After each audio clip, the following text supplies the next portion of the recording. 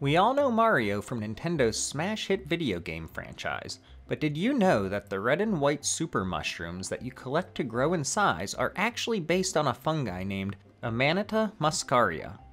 When someone eats these particular mushrooms, they feel as though they are growing in size, just like Mario.